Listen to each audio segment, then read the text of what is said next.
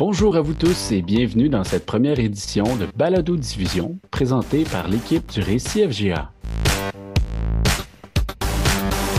L'intention de ce contenu balado est de vous faire découvrir l'univers pédago-numérique tout en vous libérant les mains et la tête d'un ordinateur. Au mieux vous en parler.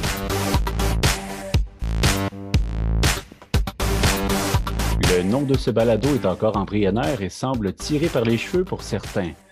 Pod GA fait référence à un pod géant, une métaphore en lien avec le défi qu'assument les élèves et les enseignants de la FGA. La formule que nous vous proposons consiste à vous partager la réalité, les actions et les réalisations du réseau en donnant la parole aux acteurs de la FGA issus de diverses régions du Québec. Je me nomme Jean-Félix Giguergrou, conseiller pédagogique Récit FGA pour la région des Laurentides, et pour m'accompagner dans cette folle aventure audiophonique, je serai secondé par mon ami et collègue Richard Pinchot. Allô à tous. Pour commencer notre initiative audiophonique, nous avions plusieurs thèmes potentiels qui semblent nourrir l'actualité pédago-numérique. Parmi ceux-ci, nous avons retenu la formation hybride. Bon, c'est quoi la formation hybride? Merci de poser la question. Concrètement, la formation hybride peut prendre plusieurs formes. L'une d'entre elles consiste à offrir un environnement d'apprentissage mitoyen entre la formation synchrone et asynchrone. C'est quoi ça? Pour les néophytes de la formation à distance, le synchrone, c'est une formation en temps réel. Donc, l'enseignant et les élèves sont en ligne. Et l'asynchrone en temps différé. L'enseignant donne des travaux et les élèves les remettent pas. Ils les remettent à un temps déterminé. Bon. Depuis quelque temps, on parle de formation hybride entre la salle de classe et la classe en ligne. Pour mieux cerner les différentes réalités, nous allons commencer un tour de table auprès de nos collaborateurs du jour.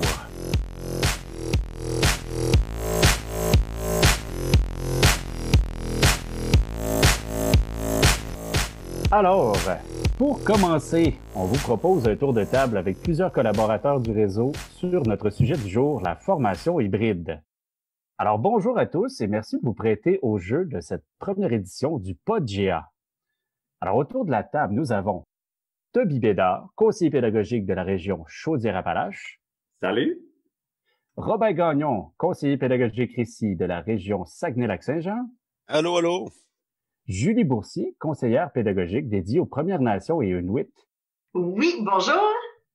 Et bien sûr, mon complice Richard Péchaud, agent de développement des après-cours. Bonjour à tous.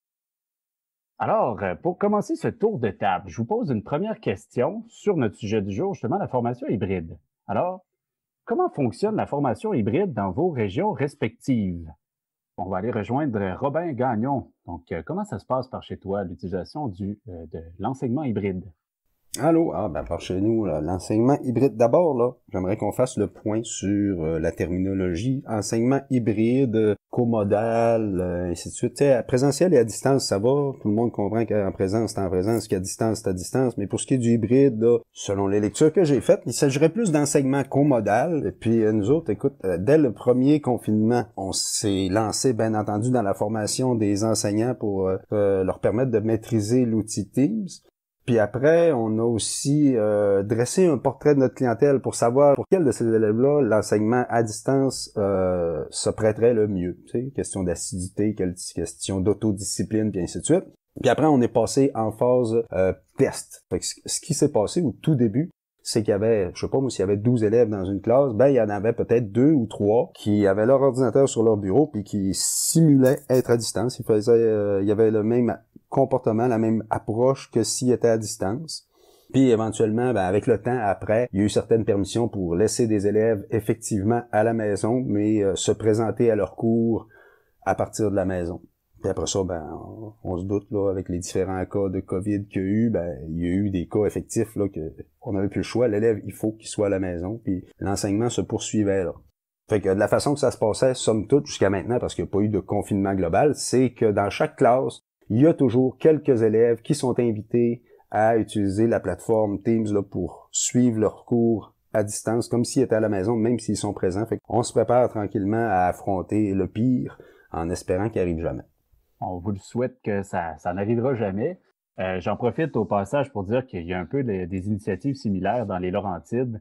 Euh, dans le fond, plusieurs centres de services scolaires ont fait aussi des tests, ou du moins fait des mises en situation dans lesquelles on faisait de l'enseignement hybride aussi, histoire de se préparer au pire. On s'entend qu'on est contextuellement en ce moment encore dans la crise du COVID, mais probablement que la capsule va avoir une plus grande longévité.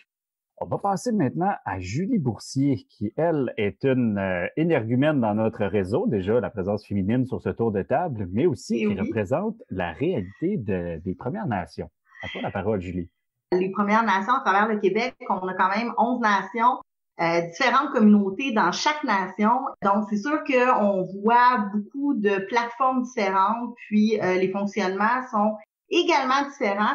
Puis je vous dirais que ce qui fait en sorte qu'il y ait autant de différences, c'est surtout l'accès ou le non-accès à Internet. Rapidement, pour donner des exemples concrets, je vous dirais que quand on pense, par exemple, à la commission scolaire CRI, elle, elle a choisi essentiellement l'enseignement en présentiel pour l'instant, mais par contre, sont aussi en train de travailler euh, sur une plateforme commune euh, LMS 365, la commission scolaire du Cativic, où là, on parle du Nunavik. Donc, euh, là, on a des gros, gros, gros problèmes d'accès Internet, on s'entend. Euh, quand le début de la pandémie est arrivé, ben c'était par la poste, euh, puis par le téléphone. C'était pas évident, surtout que faut penser que les enseignants viennent souvent du sud, donc ils devaient eux-mêmes être rapatriés chez eux. Pour l'instant, ils ont décidé d'utiliser Moodle. Ils se sont vraiment virés là, comme sur un dizaine, comme on dit en bon français, là, cet été ils ont créé euh, un Moodle qui est extraordinaire. Ils ont été mettre des serveurs dans tous les villages euh, au Nunavik de façon à ce que les élèves puissent être ou non connectés, avoir accès quand même là, au contenu Moodle. Il y a aussi eu beaucoup d'initiatives pour que les communautés fonctionnent entre elles. Je tiens à souligner ça avant d'embarquer avec mon dernier exemple entre autres euh, par le Conseil scolaire des Premières Nations, cela étant dit, mon dernier exemple concerne euh, le CDFM à Wendake. Euh, donc, euh, on parle des Hurons Wendat qui ont un modèle hybride extraordinaire.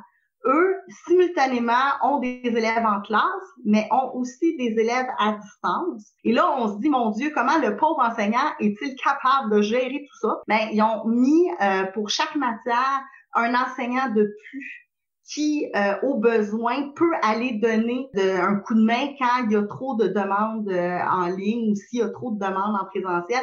Pendant la pandémie, il faisait des activités parascolaires avec les élèves. Il faisait des dîners en ligne. C'est vraiment euh, les Premières Nations, les Inuits, là, je vous dirais que en tout cas, moi, je suis contente pour le podcast parce que je vais vous faire découvrir des affaires de, complètement malades. Vous en viendrez Excellent. Un gros merci, Julie. Euh, c'est sûr que tu me plonges un peu dans un passé relatif où j'étais euh, moi-même enseigné dans le Nord et je confirme que la connexion Internet est assez horrible. les, justement, les paraboles satellites sont penchées vers le sol tellement que les satellites sont pas au-dessus de leur tête. Eux autres, c'est vraiment plus vers le sud. Donc, la connexion est vraiment horrible à ce niveau-là. Je peux te garantir que c'est tout un défi pour les profs. Donc, euh, on va poursuivre avec Toby. Euh, dans le fond, comment ça se passe, l'enseignement hybride de ton côté? Oui, au niveau de l'enseignement hybride en Chaudière-Appalaches, que ce soit en hybride ou que ce soit complètement en ligne, euh, les deux se rejoignent. Donc, peu importe qu'on soit, on voit que la gestion est, similaire. Donc, selon moi, c'est un élément qui aide beaucoup le, fait de, bifurquer entre présentiel, hybride et même en ligne. Super, Toby, merci beaucoup.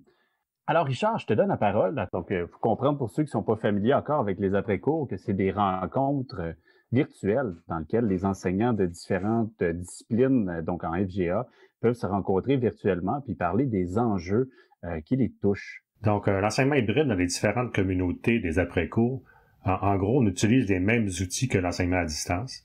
Les difficultés sont exactement les mêmes, mais on ajoute certaines particularités. Donc, euh, au sein de la communauté conseillance pédagogique, on nous rapporte qu'au Saguenay, il y a un comité de pratique en enseignement hybride qui est installé. Euh, les enseignants testent des pratiques et des stratégies qu'ils utilisent avec leurs élèves, puis ils partagent leur expérience. En conclusion, tout le monde à présence, ça va. Tout le monde à distance aussi. Hybride, c'est plus difficile.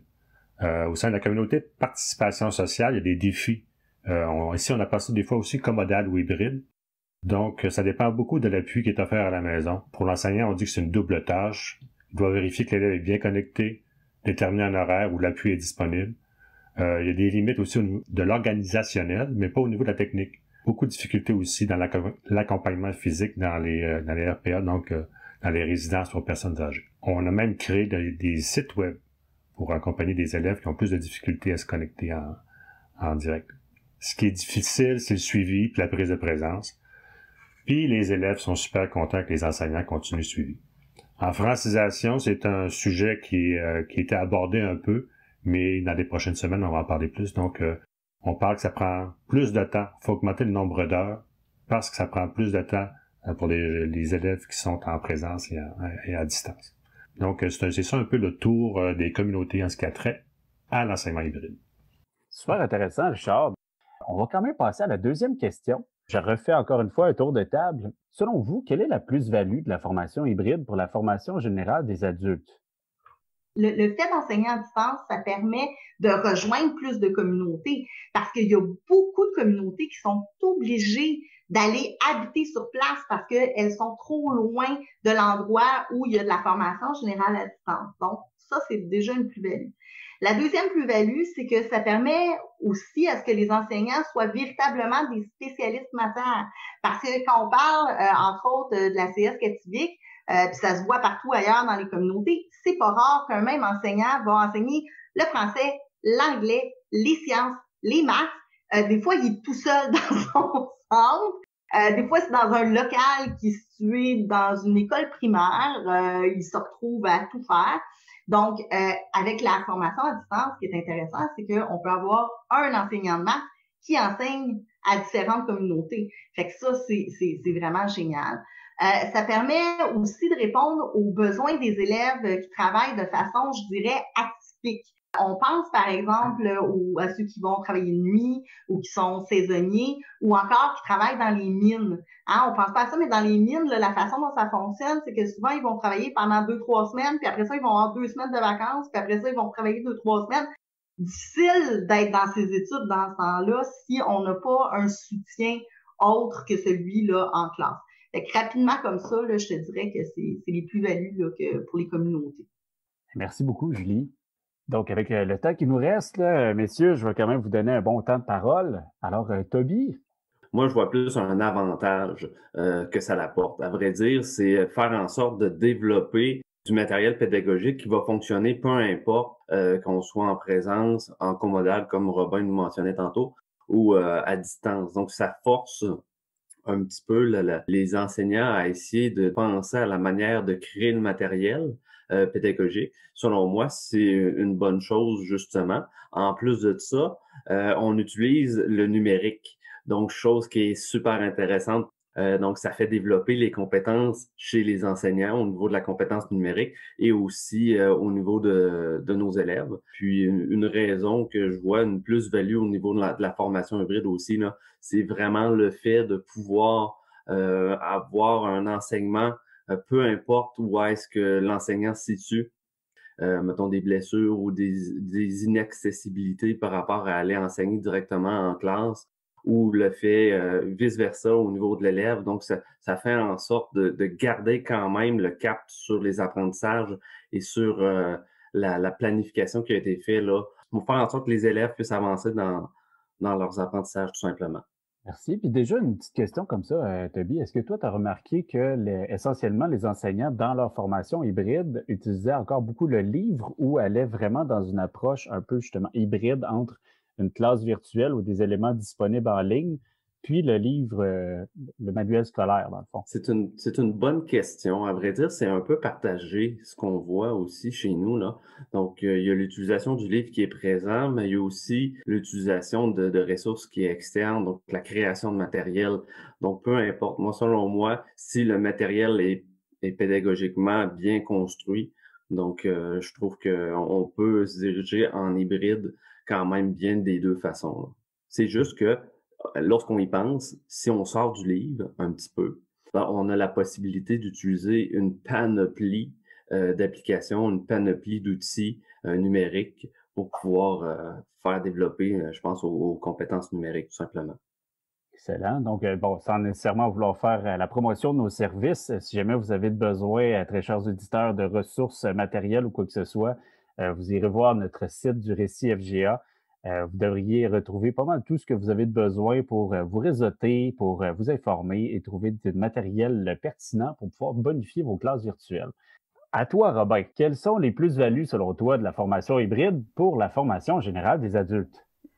Oui, ben, avant d'aller vers les, plus-values, je tiens à préciser, je voulais revenir un petit peu sur euh, ta dernière phrase où tu invitais les gens à venir sur le site du récit s'il y avait besoin de matériel. On s'entend de matériel pédagogique. Là. Vous ne retrouverez pas des ordinateurs portables à prêter à vos élèves sur le site du récit, ni même de casse d'écoute. Ouais, ben, la plus-value de la formation hybride. Je vais t'avouer qu'il faut y réfléchir à la plus-value parce que on n'a pas le choix d'y faire face. À partir de là, euh, on constate les égarements, puis on constate les bons coups, puis on apprend de tout ça. Ce que j'en retiens, moi, par rapport à cette plus-value-là, ça relève peut-être de l'autonomie puis de la gestion du temps que ça demande pour, euh, entre autres pour les élèves principalement.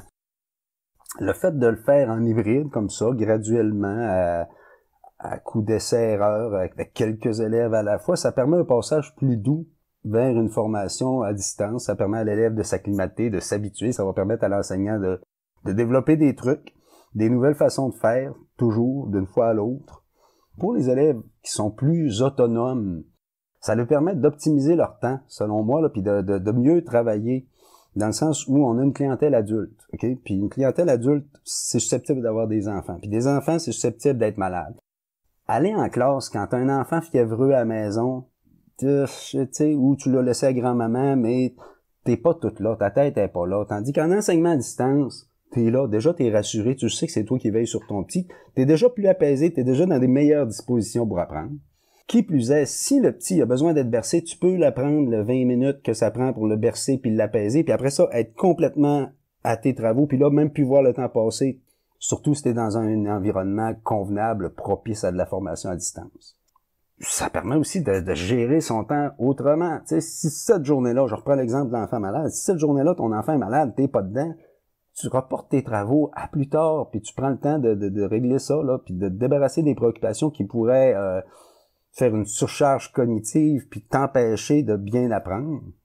Puis là, j'ai parlé beaucoup des élèves là dans un contexte idéal où ils ont plus d'autonomie, mais pour les élèves qui, ont, qui présentent peut-être un petit peu moins d'autonomie, pour lesquels l'autonomie est, plus un défi qu'une force, ben ça leur donne l'occasion de la développer justement leur autonomie, de se responsabiliser de leurs apprentissages, parce que c'est possible, tu pour un élève de se rendre en présence, là, de se déplacer, de prendre l'autobus, de prendre l'auto, de se rendre dans son centre, puis de faire de la présence classe, jusqu'à quel point c'est, tu sais, s'il est préoccupé puis il est à l'air, jusqu'à quel point c'est du temps rentable. Tandis que s'il est à la maison, puis qu'il a sensiblement la même attitude qu'en classe, c'est-à-dire plutôt passive, ben maintenant il va bien se rendre compte que ça mène nulle part, puis qu'il faut, faut se retrousser les manches, puis s'y mettre si on veut y arriver.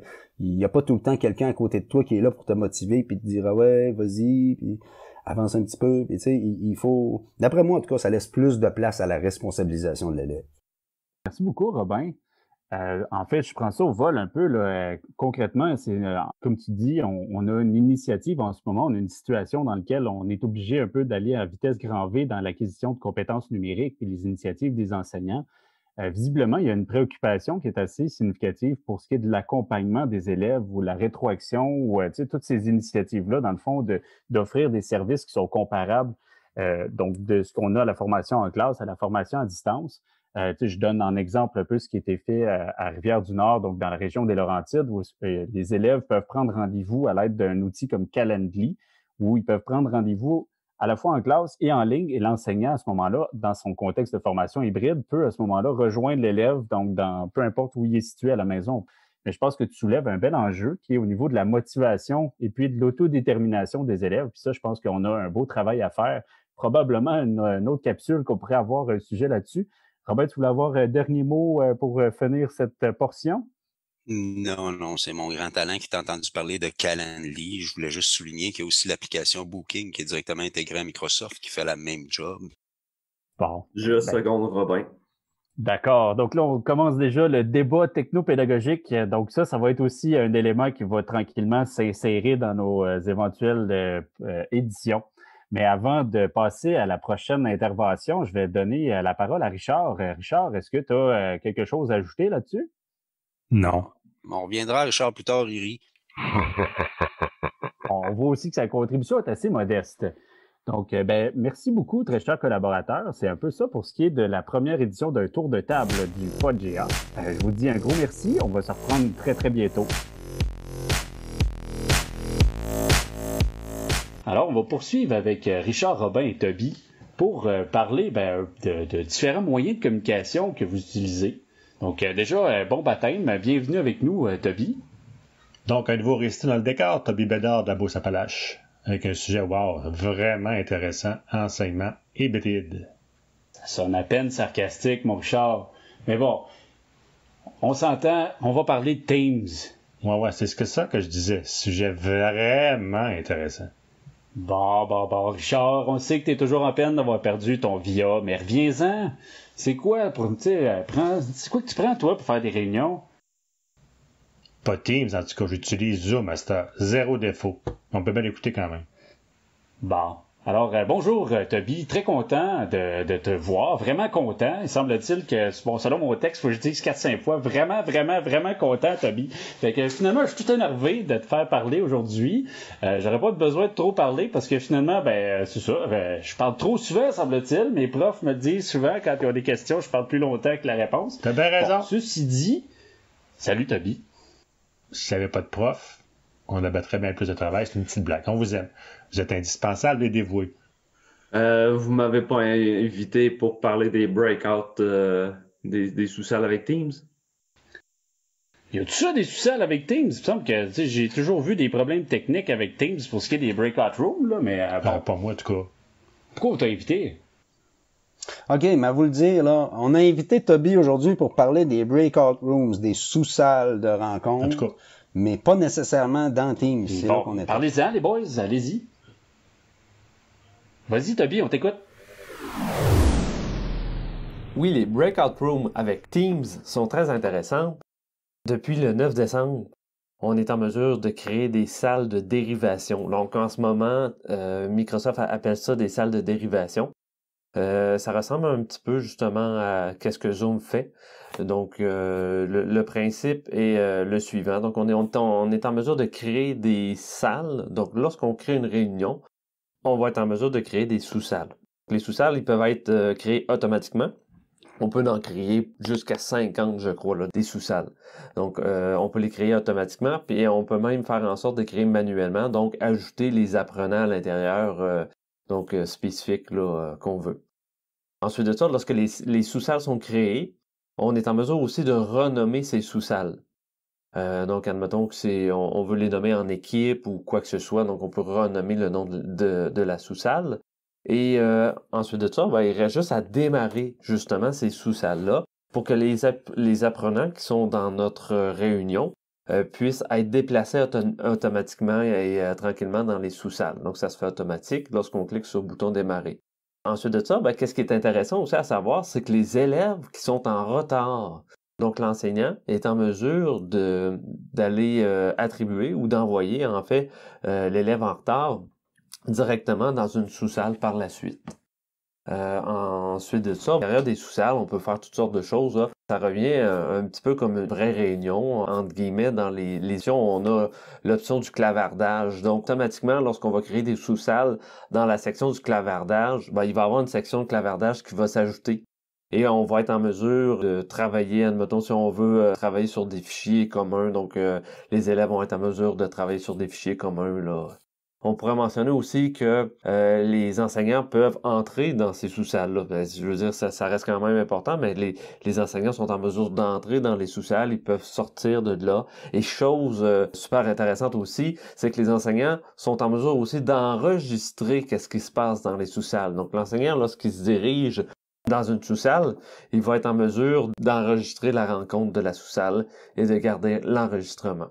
Donc, les espaces de clavardage, euh, c'est créé comme j'ai mentionné. Puis, euh, ensuite de ça, ben, lorsque les, sous-salles, euh, lorsque, admettons, le, travail est terminé, donc on peut ramener les élèves, donc on ferme les salles, puis les élèves vont revenir à la rencontre générale. Ça fait pas mal un topo de l'utilisation des sous-salles. Probablement qu'éventuellement, on va avoir des améliorations par rapport à, la gestion de ces sous-salles-là. Et je ne sais pas si ça va garder le nom de salle de dérivation. On va voir avec le temps. Il y a des tutoriels là-dessus, là, bien sûr. Effectivement, il va y avoir des tutoriels, il va y avoir des formations en lien avec euh, l'utilisation de Teams. Euh, donc, vous pouvez euh, vous rendre aussi sur les, au niveau des ressources du campus Récit ou au niveau du site web récitfga.csbe.qc.ca. Dans la section ressources, suite Microsoft et Teams, vous allez avoir des ressources. Bon, mais moi, j'ai un invité surprise qui va nous parler des avantages de l'utilisation de Zoom. Eh oui.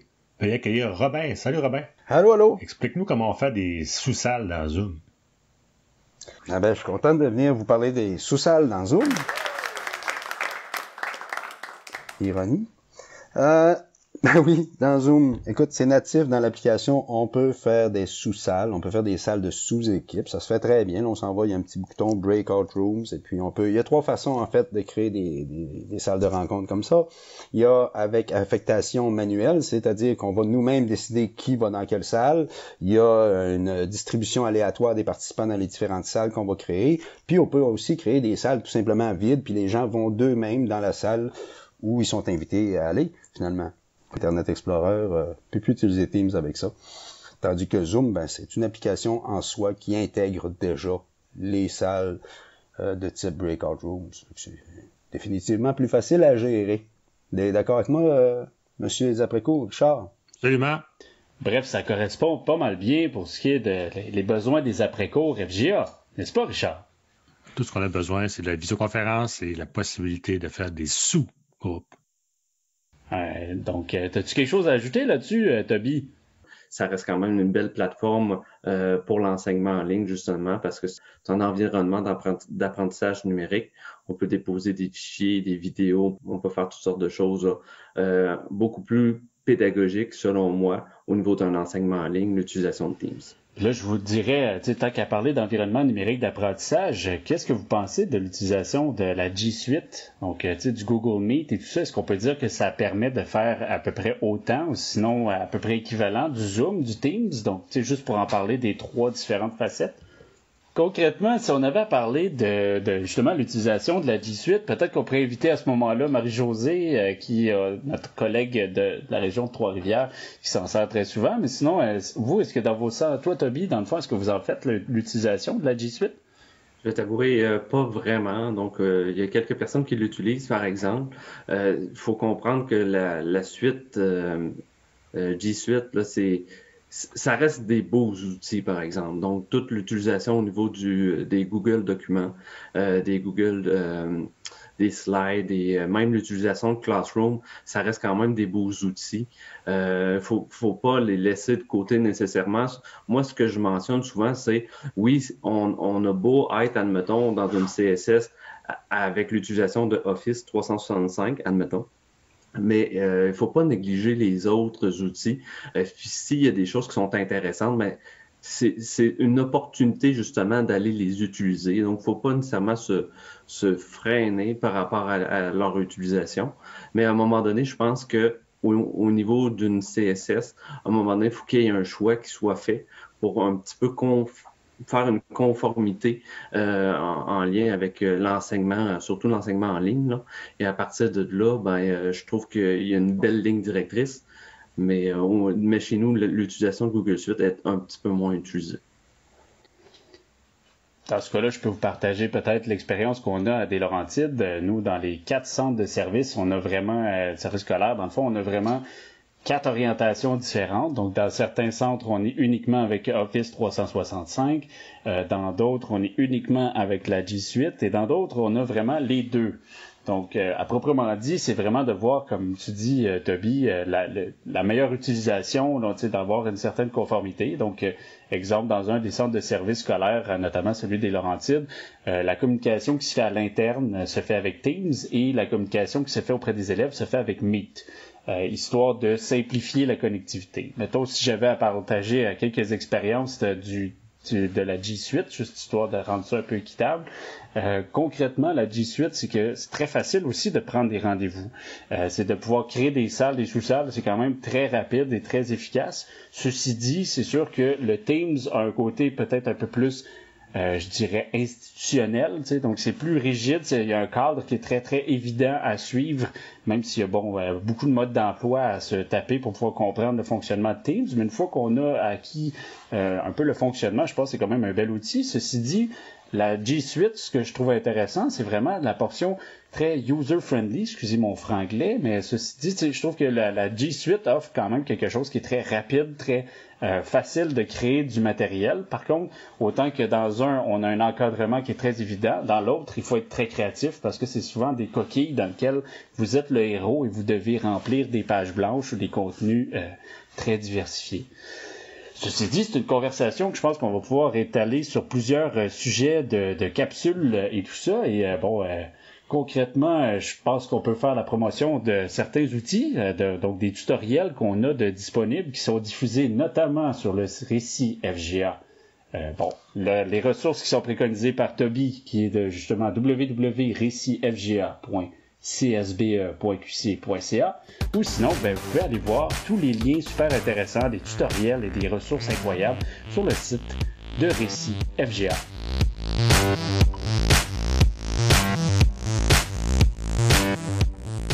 Nous passons maintenant au volet anglo-franco.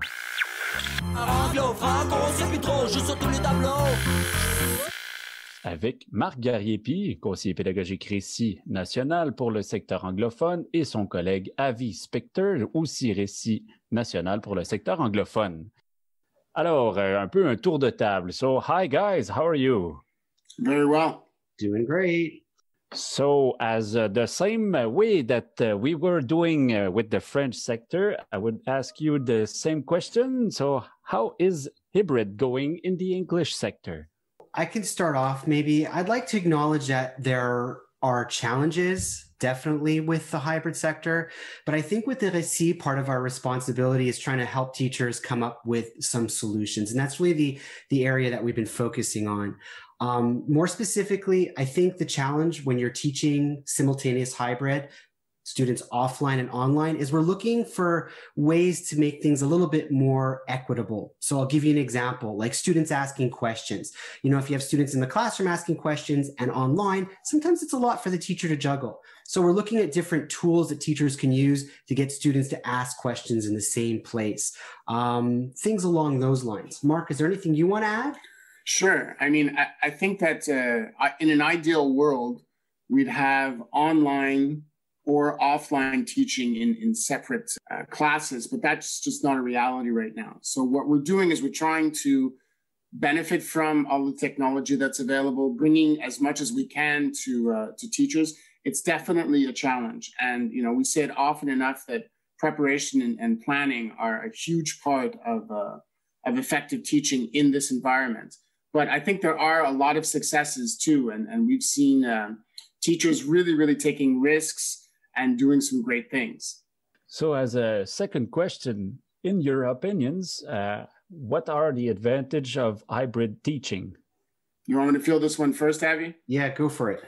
I, I really think that um, it's it, it broadens your mind in terms of being a teacher. You have to be extremely creative. You have to think about how you're going to present your material.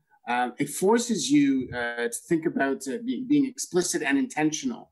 So your preparation has to be well done. You have to think about resources and support. And you'll see in our little uh, conversation that we're going to give a little later that we talk about the RAISE model being something that's a good way to organize yourself when you're teaching. I think, Mark, you really covered it all. I think to echo what you're saying, in a sense, right now, this is helping teachers find a proper use for technology in the classroom. It's not just an extra or an add on, um, it's something that's needed. And what we're hoping is that after this pandemic's over, a lot of these habits that we're unfortunately forced into will carry over and there might be some, some good that will come out of it. So that's to me part of the, the good part of the hybrid teaching situation that we're finding ourselves in right now. Excellent. So thank you very much, guys. Uh, we will uh, listen your interview that you uh, previously recorded. So uh, let's hear that.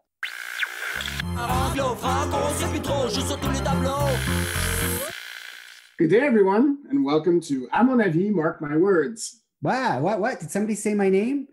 I'm Avi Spector. And I'm Marc Gariepi. We are both provincial services for Récit AGE. So today we're going to be discussing one of our favorite ways to prepare lessons or classes, the RAISE model. you mean like a razor? So we're going to shave our lessons? No, no, no, not exactly. RAISE is an acronym for resources, activity, support, and evaluation. Oh, yeah, yeah, right. Uh, it's a way for teachers to organize student directed resources, give support to learning, provide evaluation around pedagogical activities. Oh, yeah. You gave a workshop uh, recently where you discussed the model, right, Avi? Why don't you tell us about it? So, yes, actually, I did this with a group of teachers at the um, English Montreal School Board. And what we did is we looked at the RAISE model. And I think at first, some of the teachers saw it as just another framework. And it was really hard to get a sense of how it fit in with their own teaching. So, what we did is we brought the teachers into a Google slide, which was divided up into four quadrants resources, activities, support, and evaluation. And what we did is we had the teachers look at the RAISE model through their own classroom reality. So things they do every day in their classroom, and they had to move those little virtual cards into the different quadrants of the RAISE model. And you know, what I like about that is that now that you have those four different areas where they're moving their cards and uh, there's something tactile to it, you know, they're actually, they're actually participating in this uh, activity. So I'm sure you got some, some teachers who looked up all wide eyed and, and, and came to some great realization because they were moving things around and they could really see, oh, well, this action that I do in class belongs in resources or in support. Yeah, they did. They actually really appreciated the activity. Um, once again, I think just looking at the RAISE model through the lens of their own adult education classroom really helped them have a better understanding of the model. Right, right. Um, you know, and and I guess when you were talking about activities, um, it's not so easy to do activities these days, especially when we're in a, in a hybrid or a simultaneous hybrid uh, context. So, uh, you know, when you, it comes to the RAISE model, what's interesting is that you connect the other three parts, uh, resources, support, and evaluation to your activities. And so that helps you to think about, okay, well, if I'm doing this activity, then I'll have this resource ready for the students. And when they're doing this activity, well, I'm going to put that support with them. So, yeah. Exactly. We found, for example, that we were really focused, or at least for myself, when I went through the exercise, that I was really focused on activities and not providing enough support. But by seeing it on that placemat activity, I started thinking about all the things I needed to do within resources, activities, support, and evaluation. Right, right. And when you're talking about support, I mean, you can get a little creative when you're, you're thinking about support as opposed to activities where you really have to be very explicit and intentional. Um, if because we are living in this online, offline, students in class, students in uh, at a distance. So you know, answering a raised hand is a really is a, is a very simple and easy form of support. But you can also set aside time in your lesson for responding to questions from students online. That's another way to do it. And I always like the email. So if you give them in your, your email or if you give them the space on your Google Classroom or in your Microsoft Teams for them to write questions, you don't have to answer those questions right away. That reduces their anxiety because they get the question out and you can take the time when you're ready to answer the question. Exactly. Evaluation is sometimes tricky. It gives a lot of stress for students and a lot of correcting for teachers when we're talking about summative evaluation. And it doesn't always have to be the case. Yeah, exactly. I mean, that was the thing I used to hate about teaching was evaluation because my poor students were stressed out and then I had to correct all their papers. Um, but eh, you, we can talk about assessment and formative assessment. So it could be very simply a student does an exercise and then you have the, the uh, uh, correction of that exercise available to them online. You could put polls inside of Microsoft Teams uh, to see what the level of comprehension is in the class. Um, there are other things you can do too. Yeah, and I really like exit slips. So, like at the end of a class or a lesson, you can have students write something on a Padlet or answer a Google form when we're talking about teaching students online. It can even be a brief what I learned in a collaborative document. Right, exactly. And you know, if we come back to the start, the activity being center, the center of all of this, um, I'd just like to everyone to know you don't have to reinvent the wheel. Your activities are still good. You might have to change them a little bit because we're in a different context. Um, but you know that you, you can't just answer uh, online questions on the fly. And so you have to think about those things uh, when you are giving out the activities. And um, yeah. yeah, no. Lost my train of thought. no, that's good. I think that's good. So, I mean, really, at the end of the day, as we said earlier, the RAISE model helps you think about the four aspects of any lesson, or even if you think of your entire course the activity, the resources the students can use without your help, the way in which you will be there to help, so the support, and how you will evaluate how it went. And that can be formative assessment. Yeah, that I think that's really good. I mean, the RAISE model really helps you to put all your ducks in a row. And Abby, you know, I love duck. It's so delicious. So have a great holiday, everybody, and we hope to see you in 2021. Yeah, take care of yourselves over this winter break. Bye, everyone.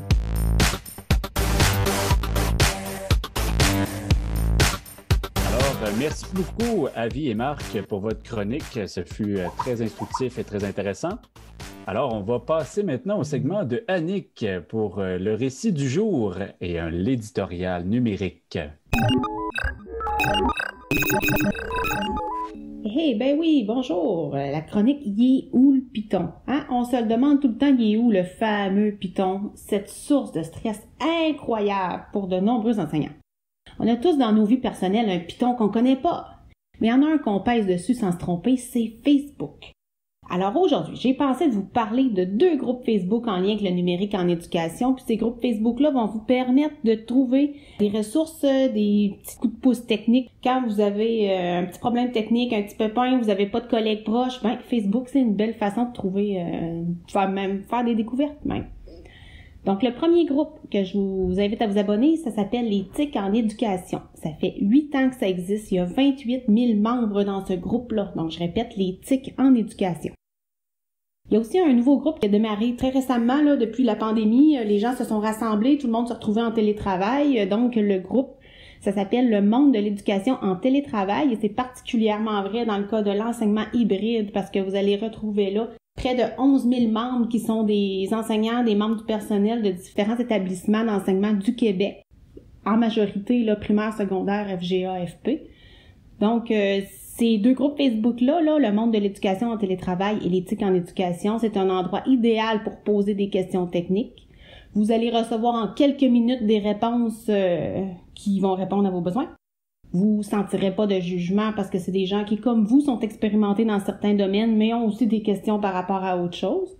Vous allez sans doute faire de très belles découvertes et finalement, il y a une section fichier dans laquelle vous allez trouver toutes sortes de documents qui sont partagés par d'autres enseignants. Donc, vous allez voir des tutoriels, des activités pédagogiques, etc. Pour trouver où le Python rapidement, réseaux sociaux. Merci Annick pour ta chronique.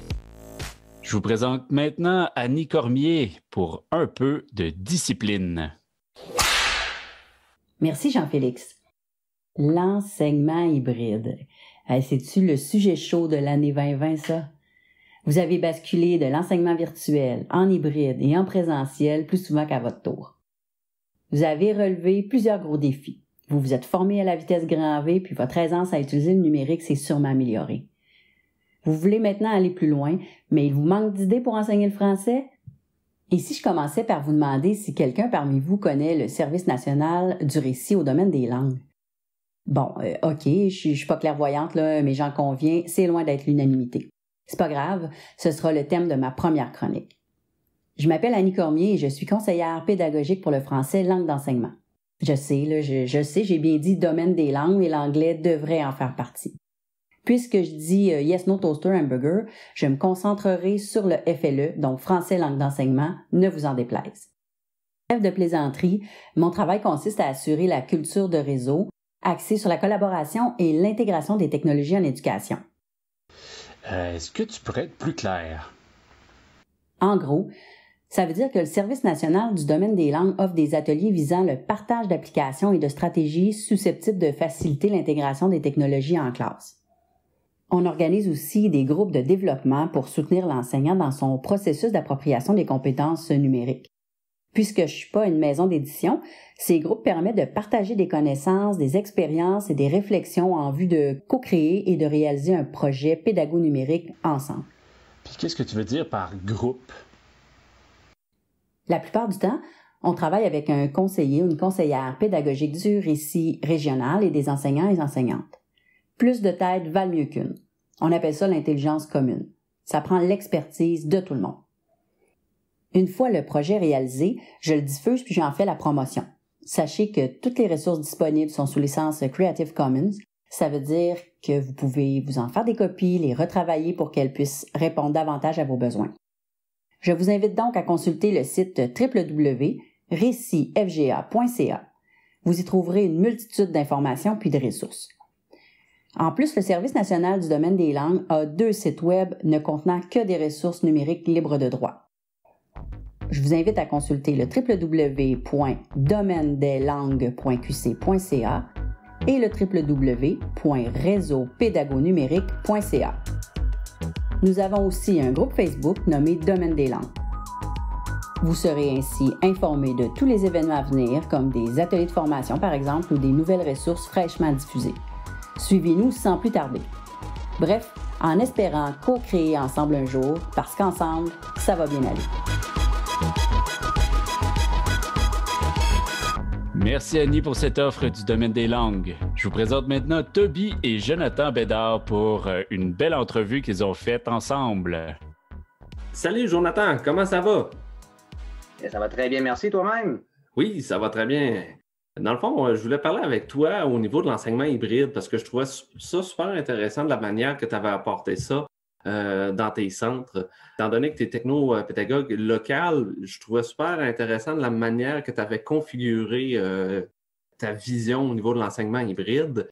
Donc, juste pour clarifier, vous utilisez Microsoft Teams. Oui. Puis, à l'intérieur de Microsoft Teams, est-ce que tu peux me parler un petit peu de la configuration que, que tu as apportée et que tu as configuré le tout? Là? Oui, je peux t'en parler. Teams, en réalité, on a une équipe Teams qui relève du Centre d'éducation des adultes de chez nous. Puis à l'intérieur, on a créé des canaux. Les canaux, c'est les, euh, les, différentes matières, maths, français, anglais, FBC, FBD, euh, bon, puis toutes les autres matières qui peuvent se donner. Mais euh, si tu me permets, avant ça, avant même la création, il y a quand même eu un, il y a quand même eu une étape préalable qui a été de s'assurer que tous les élèves étaient rejoignables aisément on s'est rendu compte que c'était ben, on, a pensé en tout cas que le téléphone intelligent serait une bonne façon d'interagir avec eux rapidement, efficacement. Ce qui fait que dès le début de l'année, ce qu'on a fait, c'est qu'on a circulé dans tous les groupes. On a, finalement aidé tous les élèves sur leur téléphone intelligent à euh, installer Teams. On savait qu'on s'en servirait comme outil de communication. Il faut savoir que chez nous, les élèves ont une adresse courriel qui leur est euh, attribuée dès qu'ils ont un dossier chez nous. Alors, on exploite cette adresse courriel pour la connexion à Teams, pour aussi, ben, ils ont une boîte de réception de courriel. Donc, ce qu'on a fait sur leur téléphone, c'est qu'on leur, on leur a fait installer Teams, on leur a fait euh, synchroniser leur boîte de réception d'école sur leur téléphone, puis ben, en même temps, euh, dans nos bâtisses, ils ont accès au Wi-Fi avec encore là leur adresse courriel, puis leur mot de passe. Fait qu'on avait comme trois prétextes euh, d'utilisation de leur euh, adresse courriel et de leur mot de passe. Fait que ça veut dire qu'il y avait une grosse préparation avant de dire on saute dans Teams, on part une, réunion avec l'élève.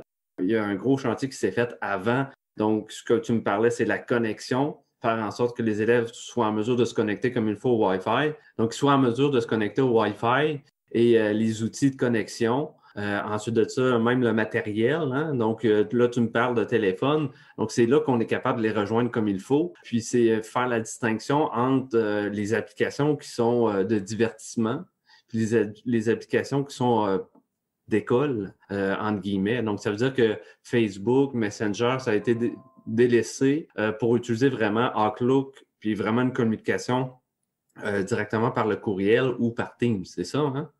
Oui, Bien, on aurait pu utiliser euh, d'autres plateformes, mais seulement qu'on se disait que Facebook, tu me parles de Facebook Messenger, effectivement, sont déjà utilisés pour la famille, pour les amis. Alors, on voulait vraiment, puis c'est pas juste pour les élèves, c'est aussi pour les enseignants, c'est vraiment de séparer sur nos appareils intelligents, ce qui relève du travail, ce qui relève euh, de notre vie personnelle finalement.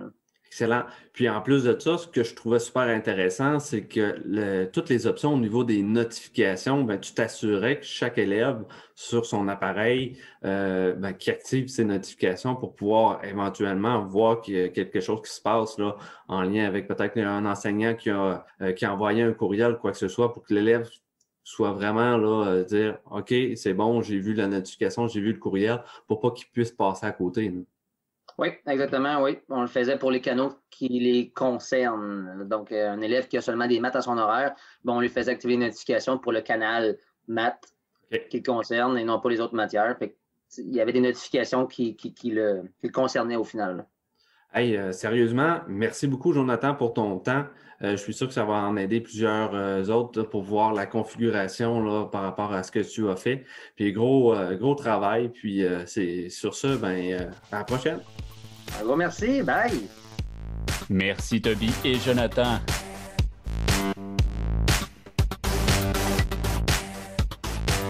Merci à tous nos collaborateurs. N'oubliez pas que nous sommes présents sur la toile et proposons différentes ressources pour aider les intervenants de la FGA. On peut parler notamment des après-cours, dans lesquels vous allez retrouver des communautés disciplinaires et plusieurs webinaires, le site web Récit dans lequel vous allez trouver différentes ressources, dont notamment des infolettres. Et pour tout commentaire, suggestion sur notre capsule, vous pouvez nous joindre au info.récitfga.ca ou rejoindre personnellement Richard Péchaud au 819. Alors, on va laisser la parole à Marie-Ève Sainte-Croix, conseillère pédagogique Récit national à la FGA. Merci Richard. À la prochaine. Merci. L'année 2020 a été une année de défis, d'adaptation, de changement. Mais à travers ce qui peut nous avoir semblé comme un immense chaos, il y a eu des bons moments. Pour revivre au maximum ces bons moments-là, les avancées, les améliorations, faut comprendre ce qui s'est passé. Alors pour terminer, je vous propose un petit exercice de visualisation.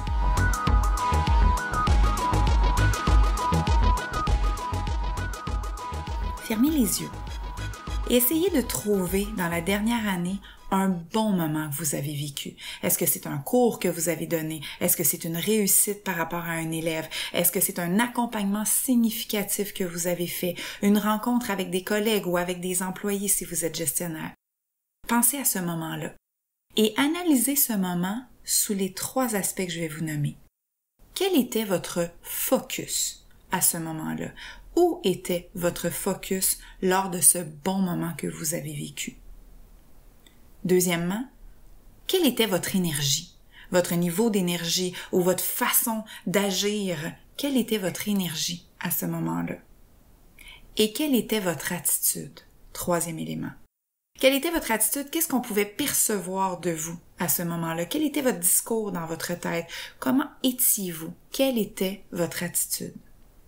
Dans le fond, si vous êtes capable de répondre à ces trois petites questions-là par rapport à ce bon moment-là, vous venez de trouver une piste de solution. Vous venez de trouver trois clés, trois clés qui peuvent vous permettre de passer à travers n'importe quelle épreuve, défi, difficulté. Si vous êtes capable de vous ramener à ce focus, cette énergie, cette attitude que vous aviez à ce moment-là de réussite, vous êtes donc capable de revivre n'importe quelle réussite selon n'importe quel moment vous allez euh, passer à travers.